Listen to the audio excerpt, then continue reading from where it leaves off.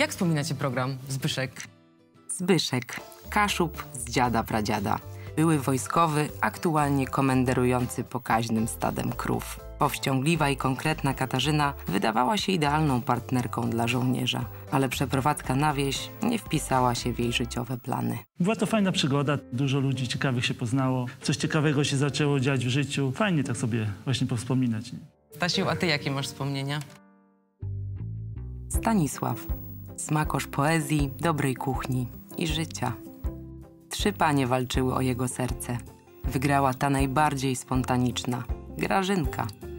Ale nie żyli długo i szczęśliwie, bo mieli zupełnie inne pomysły na przyszłość.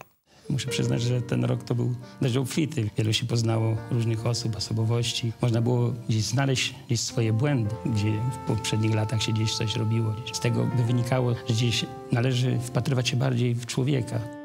Grzegorz, a u ciebie? Grzegorz, gospodarz na stu hektarach. Samotny tata wspaniałego syna. Szukał kobiety, która pokocha ich obu.